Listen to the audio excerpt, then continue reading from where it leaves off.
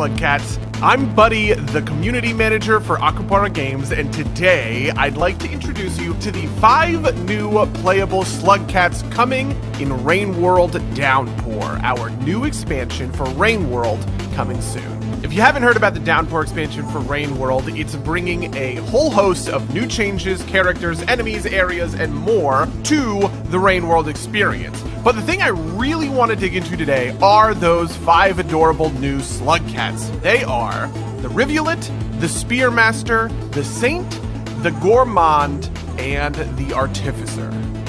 Up first, let's talk about the Rivulet. This blue little guy has a ton of advantages to living in the harsh, foreboding environment of Rain World. It runs faster, jumps higher, and can breathe underwater, which means it can zip across the map between rainstorms. That's the good news. The bad news is one, all that running and swimming burns a ton of calories. Two, Rivulet's hibernation cycles are shorter than any other slug cat.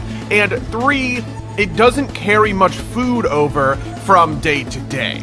Play the Rivulet if you want to be agile, but don't mind stocking up between storms. If you're looking for a little more aggression, though, maybe the Spearmaster will be for you. This spiky slug cat spawns spears, which is a tongue twister that I nailed on the first try. This is my first take, definitely not my fifth one, out of its tail, which means that anytime you can start stabbing spiders, scavengers, or squidcada.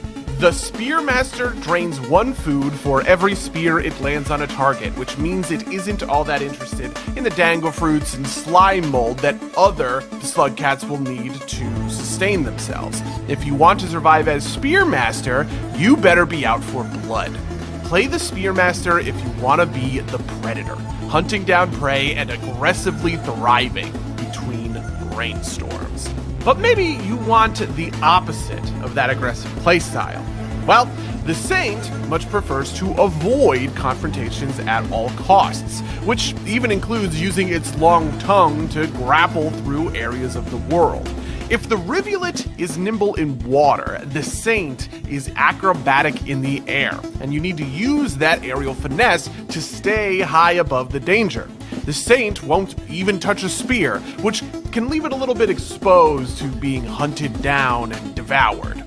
Play the Saint if you want to deftly dodge your doom with your acrobatic antics. Okay, there's so much more I want to talk about, but I only have like 30 seconds left. There's two more slippery slug coming in Rain World Downpour, and I swear to God, one of them is the cutest thing you have seen in your life. You know, the other is just kind of cute.